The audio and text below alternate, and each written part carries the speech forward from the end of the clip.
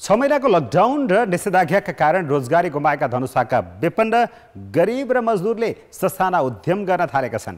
Corona भाइरसको महामारीले रोजगारी गुमाएका एक सय परिवारका दुई सय पचासजनाभन्दा बढीले गुजारा गर्न ढाकी बनाउन थालेका छन्। लकडाउन र निषेधाज्ञाका कारण हातमुख जोड्न समस्या परेपछि धनुषाका विपन्न गरिब र मजदुरहरू घरेलु उद्यमतिर आकर्षित भएका हुन्। धनौजी गाउँपालिका झोझी कटैयाका एक सय घर परिवारका दुई सय पचासजनाभन्दा बढीले ढाकी बनाउन थालेका छन्।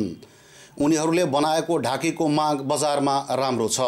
बजारमा पनि बिक्री हुन्छ व्यापारीको पनि दिन्छ आफै नबिक्री भयो भने गाउँमा घुमेर बेच बेचेर गुजर गर्छ त्यही।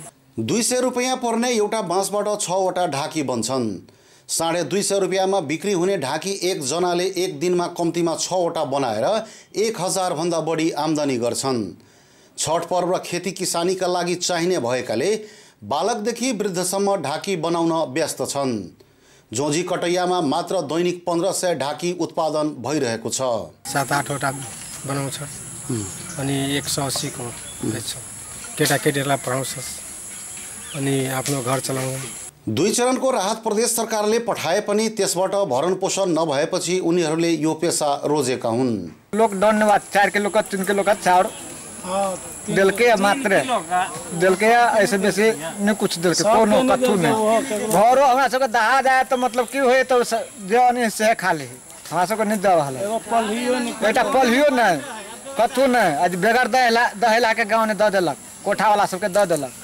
गरीब जनता के ककरो कथु नहीं देलक। मुख्य पेसा नै ढाकी बनाउने काम मात्र रहेको यिनीहरूले।